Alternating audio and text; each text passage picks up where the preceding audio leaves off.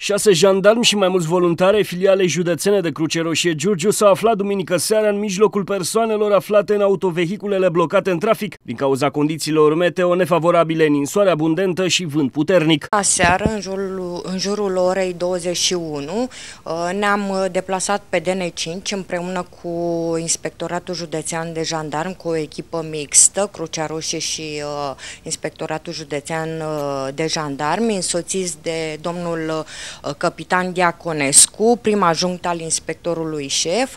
Am uh, distribuit cei cald uh, persoanel, șoferilor de tiruri și camioane care erau opriți în Vama Giurgiu, deoarece în Bulgaria nu se circula. Reprezentantul Crucii Roșii Giurgiu spune că pe lângă ceai mai puteau asigura în aceste zile de cod portocaliu alimente și pături. Mai mult intervenția lor de duminic a venit urmare solicitării prefectului județului. În astfel de situații noi suntem pregătiți să intervenim venim, uh, nu numai cu cei cald, uh, eram pregătiți și cu pături, cu uh, alimente, să distribuim dacă, e, dacă era cazul. Am fost solicitați să intervenim de către doamna prefect, împreună cu echipa mixtă cu care noi colaborăm de foarte mulți ani, Inspectoratul Județean de Jandarmi. Și jandarmii, dar și voluntarii filialei județene de Cruce Roșie sunt pregătiți pentru a interveni prompt în situații deosebite, fiindcă în fond asta este și menirea lor de a acorda sprijinul necesar în cazul calamităților și dezastrelor. În fiecare an am fost pregătiți cu tot ce trebuie, echipe mixte